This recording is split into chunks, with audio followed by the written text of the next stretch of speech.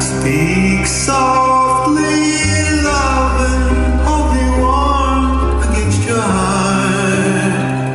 I feel your words, the tender trembling moment start. We're in a world, our very own, sharing.